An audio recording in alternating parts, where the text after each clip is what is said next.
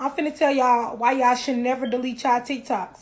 And let me tell you why. One day I posted a TikTok and it had like 10 views in an hour. So I was kind of mad about that, but I went to sleep and I woke back up and guess how many views I had?